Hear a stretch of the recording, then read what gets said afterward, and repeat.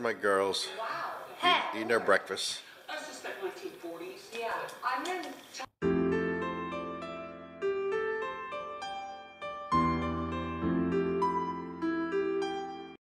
Well, I was hoping this morning to uh, sleep in, but I gotta go take my daughter to her school. She's having a little fundraiser, car wash today, so it should be a lot of fun.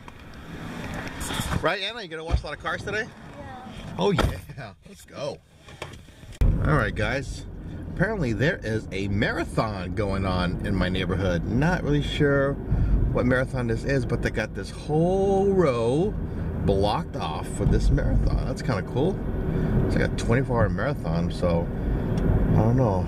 Somehow I gotta get to uh, the interstate. Hope this doesn't block my way because I gotta get my daughter to her school in like 12 minutes. This is gonna cause my daughter to be late for her little fundraiser. They got all the roads here blocked off. Just so the camera. Just perfect, huh, Anna? Just perfect. Anastasia, have fun at your car wash, okay? Bye, love you. Have fun. There's my daughter. I'm gonna wash some cars. Today's Saturday, and I think today's gonna be a eBay listing kind of day. Want to get all that stuff I got yesterday from that estate sale up as soon as possible because they're all high ticket items. So apparently I still have a little bit of jet lag, just a little bit. Last night uh, we got home from date night around 11:30, and then I edited my vlog, so I was done around midnight, and then I couldn't sleep. I was uh, working a little bit on eBay, mostly market research on the stuff that I got to uh, price my items at the right price. Couldn't sleep. I mean, I was tired, but I just I just couldn't get the I couldn't get to bed. So I was up till like two o'clock working on eBay. Uh, and when I went to bed, when I actually laid down, it took me another, I think it took me another 10, 15 minutes to actually fall asleep. I was feeling really, really restless. And then I got up this morning around 7, and I still was a little tired, and I couldn't go back to bed. Right now, I'm feeling a little, little groggy, a little tired right now. It's uh, 9:25, so I'm guessing it's gonna be still maybe a day, maybe another day before I can shake off the jet lag. But tonight is the day before I have to go back to work, and I'm gonna try to go to bed at a normal hour, maybe 10, 11 o'clock, just so I can get eight hours of sleep. Don't you hate it when you're somewhere and you want to pay for something and then you realize you forgot your wallet?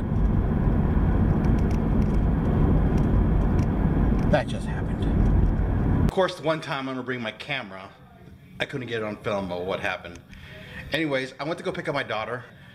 There's like a marathon going on to, to Mount Charleston. It's like a 24K marathon or whatever. Anyway, so they're rerouting everybody.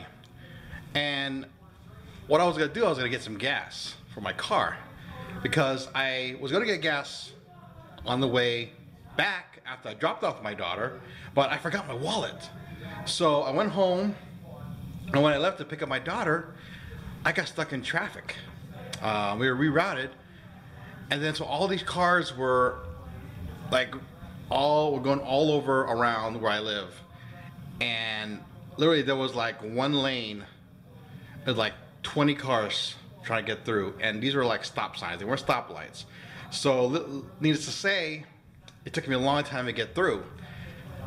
During this time, my engine, my uh, gas light came on, and I literally had like 20 miles left, 20 to 19 miles left to get to a gas station before I was going to be stuck. Now, I know it seems like a lot, but for those of you guys don't know, you know, most of that was probably fumes.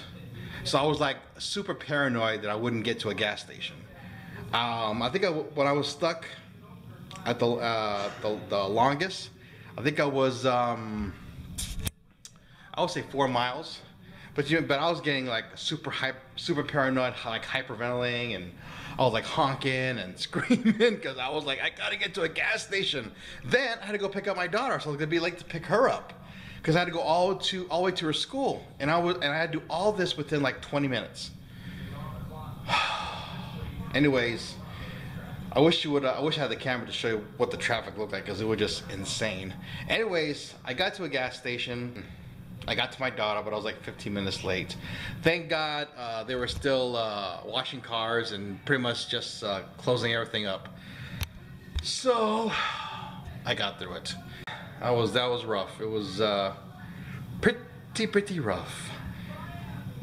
And you should have seen me. I wish the thing is, like I said, I wish I had my camera just show you my face. It was just if you if you would see a tomato, that's what my face looked like. An absolute tomato. All right, guys. I went through a step-by-step process for you guys here on my Ronnie Bizzle channel of those that luggage set that I'm gonna list on eBay. So, give you these items right over here. The, gar the garment bag and this duffel bag. Sands Sunburst Invitational. This is from the old Sands Casino with the luggage tags over here. Ah, pretty nice. So let's go and get this thing listed. First things first, I'm gonna go try to find the uh, material tag in here. I don't. I, the first time I looked through, I didn't find it. It feels like vinyl. I'm pretty sure this is uh, vinyl. So I'm trying to see if I can find any any tags in here. Right now, I'm finding nothing. This is vinyl. I think the interior feels like a canvas. So I was gonna put canvas interior, vinyl interior. Has these nice buttons here. Everything works.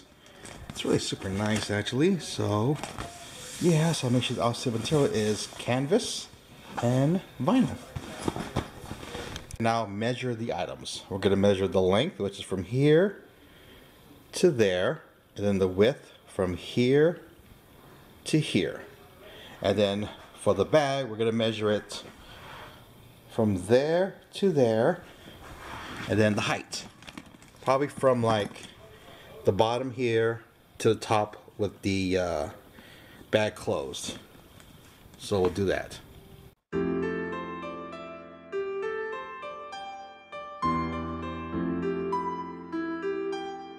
was an amazingly close contest. So now, time to take the pictures.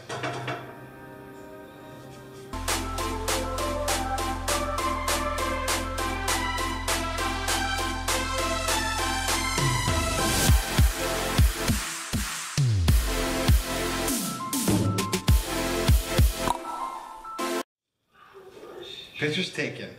Ready to go on eBay. So I'm actually doing a quick weigh-in of the package. And it's gonna come out to like 11 pounds. I'm not gonna put this box, I gotta get a bigger box for, for this uh, item. So, looks like it's gonna be like a $50 shipping charge. But I gotta get a bigger box. Alright guys, I'm on eBay now to list the, this luggage set. So let's go right here and sell this item.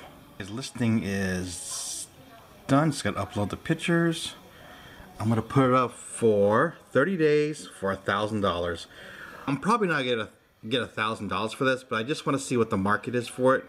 That's why I only put it for 30 days, just to see what happens. And if I get a pretty decent offer, I will take it. So let me just upload these pictures and get it up to eBay for sale. Alright guys, and there it is. There's the listing. Thousand bucks for this item. I put a put a make I put a best offer up there. So now it's about the waiting game. This is gonna be a long tail item. Um, I don't think I'm gonna sell it today or tomorrow. This is the type of item where it's got to be the right buyer looking for this particular item. And with the money I invested in this, I am willing to wait and see where the market takes me. Alright guys, I am out on my balcony because I'm going to end the vlog here for the day. It's like 5, 5 o'clock and I'm about to cook some dinner and spend some time with my daughter and just enjoy the rest of the night before I have to go back to work tomorrow. So anyways, hope you enjoyed today's vlog. Comment, like, and subscribe. And be back tomorrow with another one. Thanks for watching.